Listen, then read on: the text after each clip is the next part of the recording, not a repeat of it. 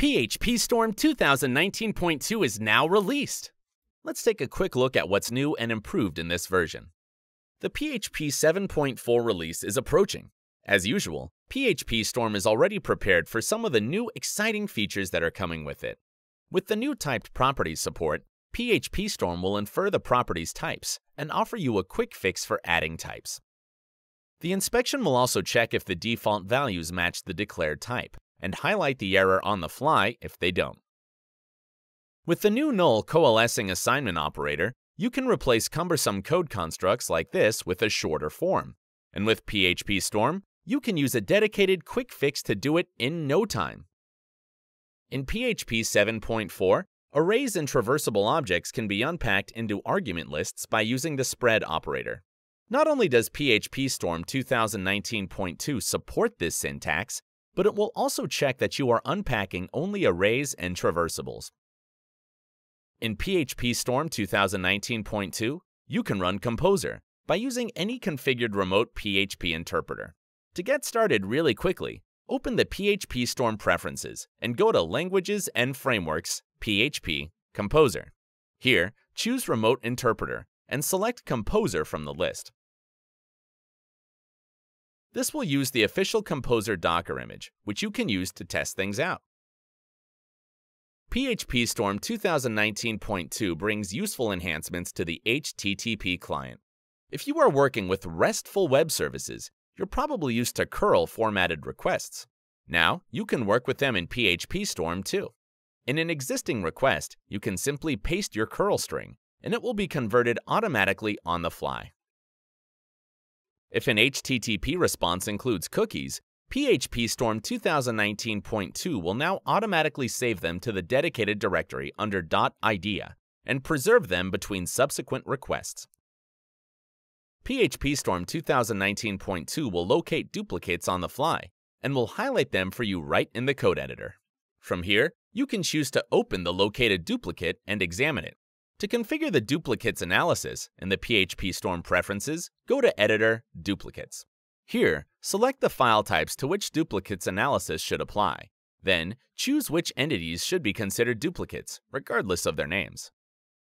When you work with preg functions, such as preg_match, PHP Storm 2019.2 will now automatically inject regular expressions. As a result, you get highlighting and on-the-fly checks. Even better, you can press Alt plus Enter on an expression and select Check regexp to test your regular expression patterns right there from the editor.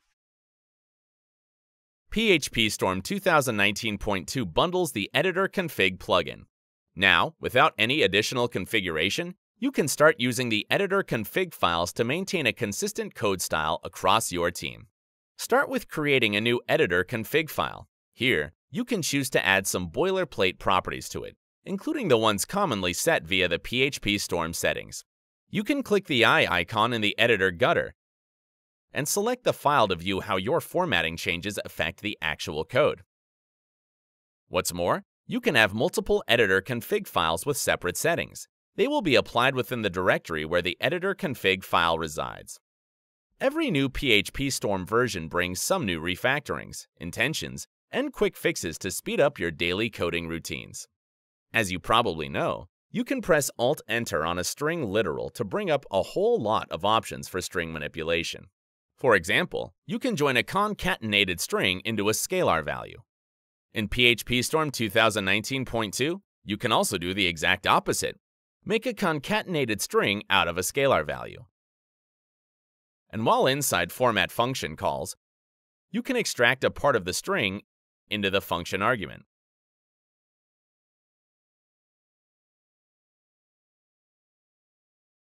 Imagine a really long list of values, such as an array, or a function's arguments. In PHP Storm 2019.2, you can press Alt plus Enter to arrange it on multiple lines. And if you have refactored your list to make it shorter, use the reverse action to quickly convert it back to a single line.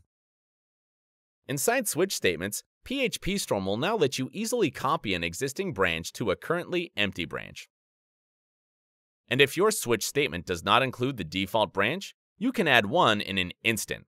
Press Alt plus Enter and use the corresponding action. PHP Storm 2019.2 gives you better support for shell scripts in the code editor. Here, you've got live templates, completion for commands and paths, and even code inspections. These will highlight common issues and let you correct them on the spot.